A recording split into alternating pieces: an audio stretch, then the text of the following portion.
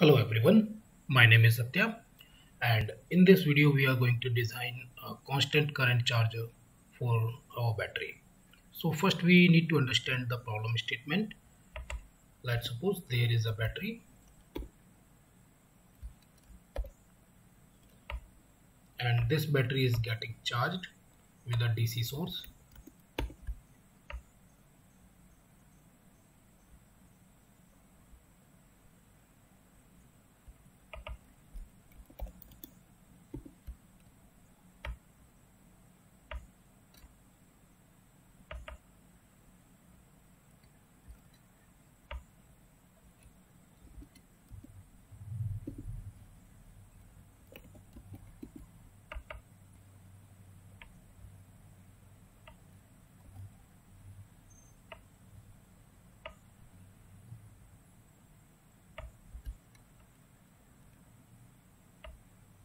all right. We need another block called power GUI so here's the basic arrangement. And let's change the voltage of battery as 50 let's suppose the capacity of the battery is 50 Ah and initially it is 50% charged. Let's change the response time to one second. All right. And this voltage source is 100 voltage this voltage source should charge the battery and we should be able to see a negative charging current. As you can see here, the battery is charged from 50% to almost 62% in 10 seconds and you can see the charging current initially was somewhere minus 4502 then settled around 2000 amperes now we can understand like uh, 2000 amperes for as a charging current is very dangerous for any uh, electrical circuit. All right so we need to make an arrangement. We need to make an electronic circuit where we are able to control the charging current for the battery. Okay? That is the problem statement. Okay. So for this uh, let's suppose we have a ideal switch through this switch we will be change, uh, connecting or disconnecting the uh, this DC voltage source. Now let's suppose there is a load. For the load we will use a RLC branch and we will use only uh, resistive.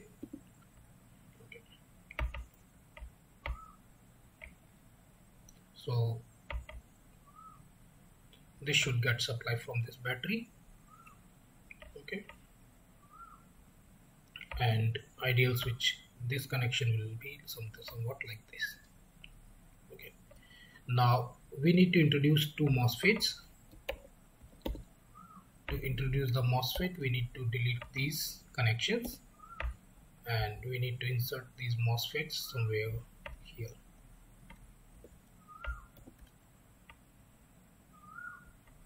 Okay we'll make connection like this. And we need another branch RLC branch. Here. And we'll take a RL alright.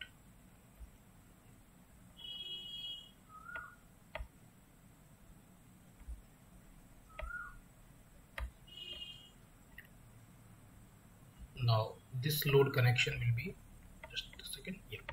So we need to make connections and we need to remove these connections as well and we will provide a connection like this. Another connection like this. And this load then connect here.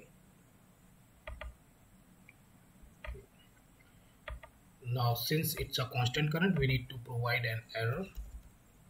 And that can be introduced with the block called sum. Let's take the negative sign here. All right we will provide the current feedback to a PID controller. It's a basic PID controller. No need to change any value as of now. Then this PID, the output of the PID will fed will be fed to uh, PWM make sure that it's a DC-DC type PWM let's connect this. And out of this uh, we will have let's uh, make a go to circuit. This tag value will uh, control the gate pulse for these two MOSFETs. Okay? And we need to have a NOT gate.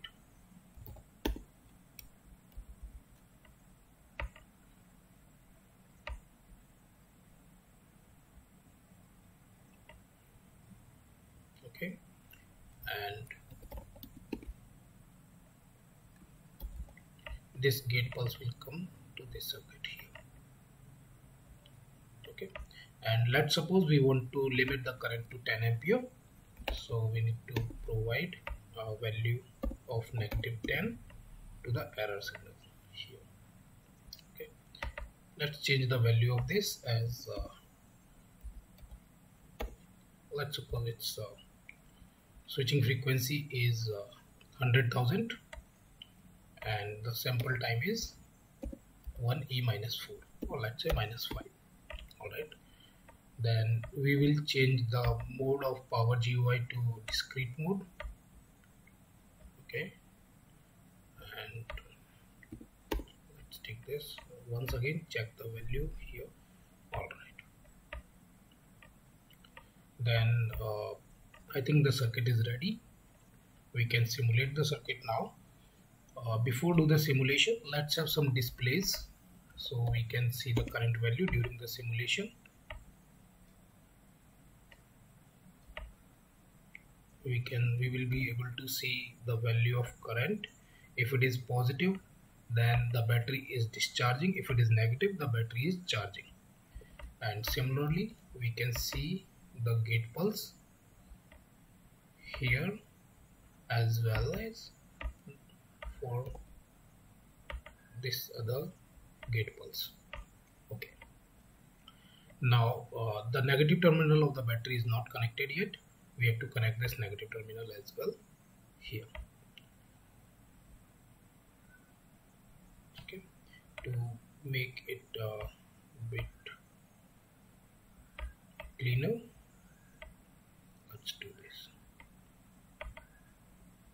all right. I think everything is set.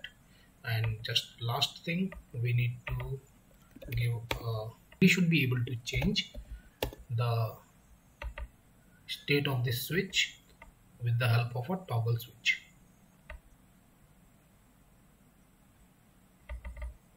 All right. Okay.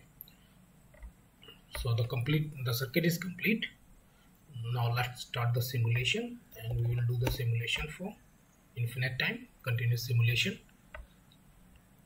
And initially the switch is on. That means this DC voltage source is charging the battery and we should be able to see a negative current. As you can see here the current is negative. Okay. Now I'm going to uh, switch off this battery. In that case this uh, battery will supply power to this load and we should be able to see a positive current. As you can see here the current is positive. Again I'm going to switch on the battery. And you can see here the current is minus 41 it will take some time like 4 to 5 seconds to reach the set point. You can see here it is decreasing. The value of current is decreasing. And it should hit uh, 10 negative 10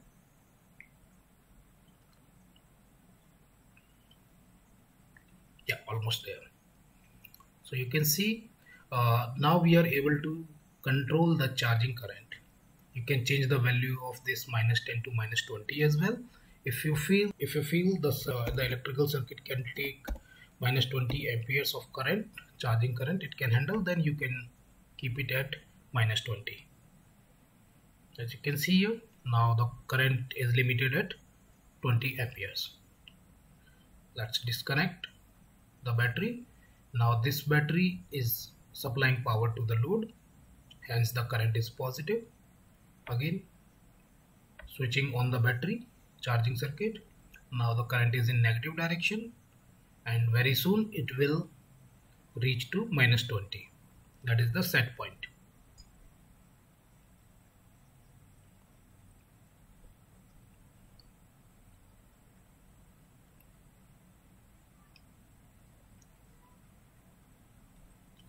now the charging current is uh, within the limit which we have set minus 20 as of now it is 20 21 somewhere around that. You can see uh, the state of these switches also going on and off. Alright let's stop the simulation and see the results on the graph.